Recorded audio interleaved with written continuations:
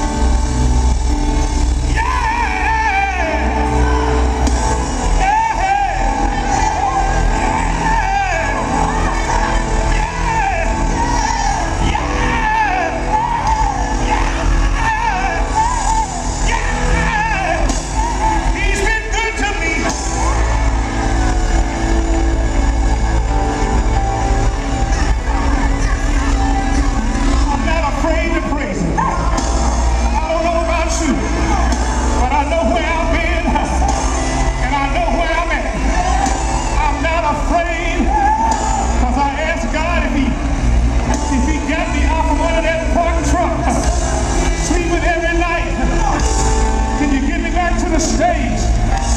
I promised you.